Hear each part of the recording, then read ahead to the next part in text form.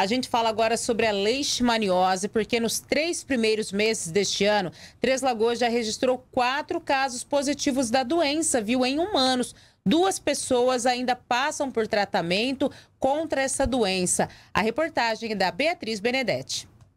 Três Lagoas já registrou quatro casos positivos de leishmaniose em humanos neste ano. Foram dois casos em janeiro, um em fevereiro e um no mês de março.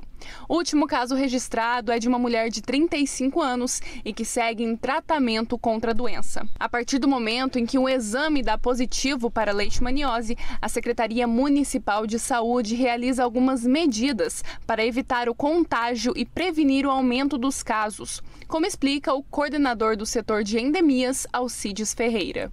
Nós temos uma rotina de atendimento, então nós temos as regiões que são mais, é, que tem mais histórico já de casos humanos e, e, da presença do vetor, nós já fazemos um atendimento, nós já fazemos um trabalho de manejo ambiental, trabalho de borrifação, mas em cada caso humano a gente faz o que nós chamamos de bloqueio. É, o CCZ vai lá e coleta sangue dos animais para fazer o teste de leishmaniose, o serviço de entomologia coloca as armadilhas é, para ver a presença do vetor e nós fazemos a, a, o manejo ambiental e depois a borrifação residual num raio é, de 300 metros no entorno do caso, para tentar bloquear e eliminar o mosquito que esteja contaminado.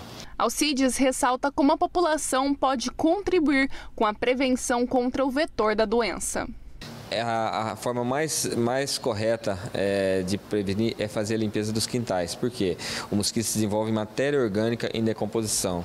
Então precisa ser feito a retirada de folhas, frutos, é, todo esse material que está apodrecendo no quintal é onde o mosquito se desenvolve. Então precisa fazer essa retirada, é, se possível, é, onde tenha esses históricos, ter lá a janela, é, evitar que te, ter criação de galinhas, esses animais no quintal, que isso tudo atrai o mosquito e fazer poda de árvore para que o sol entre né, né, nesses locais, assim, evitando sempre que tenha matéria orgânica, esse é o local principal deles.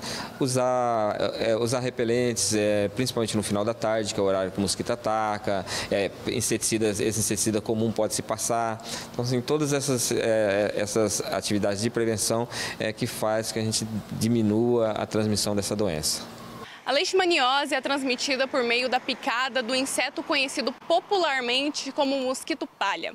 A transmissão ocorre quando as fêmeas infectadas picam cães ou outros animais infectados e depois picam um homem, transmitindo o protozoário causador da doença. Dados da Secretaria Municipal de Saúde apontam que em 2021, 13 pessoas contraíram leishmaniose visceral e duas pessoas morreram por conta da doença.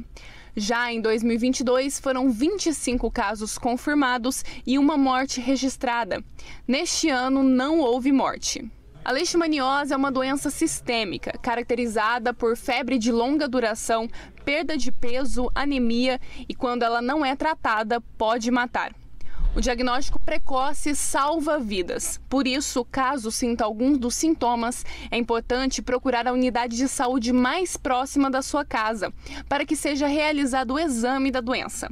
E caso o resultado seja positivo, o tratamento deve ser iniciado imediatamente.